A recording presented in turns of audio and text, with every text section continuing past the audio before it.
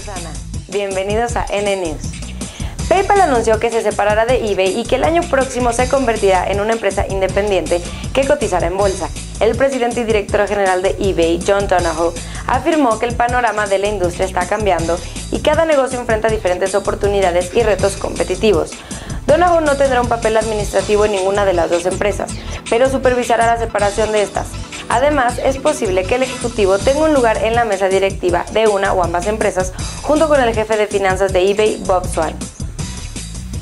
En México circula un correo electrónico que es falso y que contiene malware, advirtió a través de un mensaje en Twitter el analista de Kaspersky Lab Roberto Martínez. El correo asegura al destinatario que ganó un espectacular iPhone 6 con el logo de Apple de un lado y el de Telcel del otro, acompañado de un mensaje que asegura que se trata de un regalo de la compañía de Carlos Slim. En entrevista, Martínez aseguró que el malware incluido en el correo electrónico tiene como propósito el robo de información, así como incluir al equipo en un bot. Telmex inauguró el primer centro de ciberseguridad de México y América Latina, el cual ofrece servicios de diagnóstico y protección contra amenazas avanzadas, gestión continua de ciberriesgos y ciberinteligencia. La compañía de telefonía declaró que uno de los objetivos del centro es prevenir y atender ataques que cada vez son más complejos y provocan mayores costos para las empresas. Telmex asegura que el equipo creará un sistema de análisis avanzado que identifique y entienda los rastros y comportamientos de malware. DHL comenzará a ofrecer el primer servicio de mensajería con drones en Alemania mediante un programa de prueba para llevar medicamentos a una farmacia que está en una isla del Mar del Norte. La compañía dijo que el DHL Packet Copter 2.0 operará con vuelos diarios llevando una carga máxima de 1.2 kilogramos de medicina hasta la isla alemana de Juist, la cual cuenta con una población de 1.500 habitantes.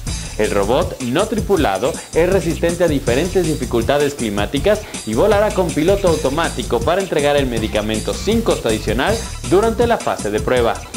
De acuerdo con un estudio de McAfee, Shakira, Ninel Conde y Ricky Martin son los nombres de las celebridades que ocupan los tres primeros lugares en la lista de personalidades señuelo más riesgosas de la web en México. En el cuarto peldaño se ubica Yuri con 11.53%, posteriormente Belinda con 11.48% y Thalía en el sexto sitio con 10.97%. La empresa de seguridad expuso que los criminales cibernéticos buscan formas de aprovecharse de los consumidores utilizando temas de interés como entregas de premios, películas y tendencias culturales impulsadas por celebridades. La próxima versión del sistema operativo de Microsoft será Windows 10, debido a que la compañía se saltará el número 9 para poner énfasis en los avances que está haciendo para crear un universo centrado en los dispositivos móviles y los servicios de Internet. El ejecutivo de Microsoft, Joe Belfiore, quien supervisa el diseño y evolución de Windows, dijo esta semana que la versión 10 ofrecerá la familiaridad de Windows 7 con algunos de los beneficios que existen en Windows 8 para ayudar a los usuarios a hacer la transición.